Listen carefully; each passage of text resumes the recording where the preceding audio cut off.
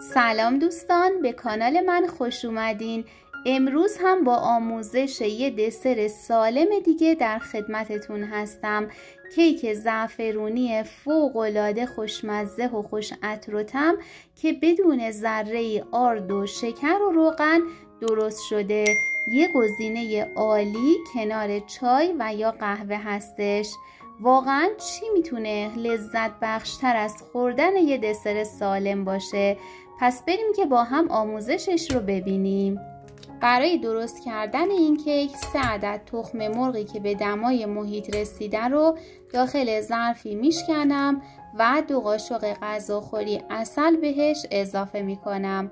من یه قاشق چایخوری استویا هم اضافه کردم. شما می‌تونید از هر شیرین کننده طبیعی دیگه استفاده کنید. حالا با همزن برقی تا جایی می‌زنم که مخلوط مواد کرمی رنگ بشه.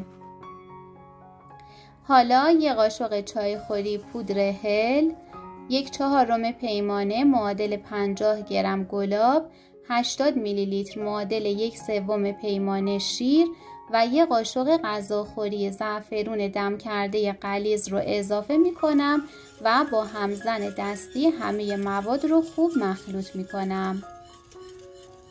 خب حالا نوبت اضافه کردن مواد خشک هستش 160 گرم معادل یک و یک سوم پیمانه آرد جوی دو سر رو به همراه یک قاشق چایخوری بیکینگ پودر به مواد اضافه و با همزن مخلوط می کنم. اگر آرد جوی دو سر آماده نداشتید می‌تونید جوی دو سر پرک رو آسیاب کنید و ازش استفاده کنید. در آخر ظرف رو با لیسک دورگیری می کنم قالبی که من برای پختن کیک انتخاب کردم قالب میان توهی به قطر 17 سانت هستش. قالب رو چرب و آرد پاشی کردم و مواد رو داخل قالب می ریزم میره توی فر 180 درجه به مدت 40 دقیقه تا اینکه پخته بشه. بعد از اینکه کیکم پخته شد اجازه میدم که خنک بشه و بعد از قالب بیرون میارم. من کیکم رو با مقداری اصل رقیق شده رومال کردم و با پودر پسته و گل سرخ تزئینش کردم.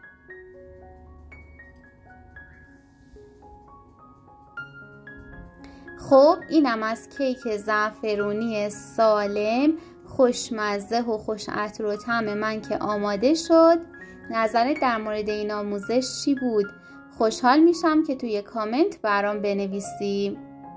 خیلی ممنونم از اینکه تا آخر این ویدیو با من همراه بودید.